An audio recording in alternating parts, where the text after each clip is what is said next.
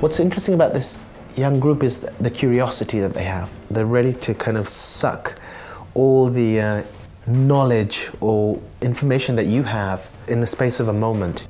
At the same time, they have incredible, unique vocabulary, each one of them.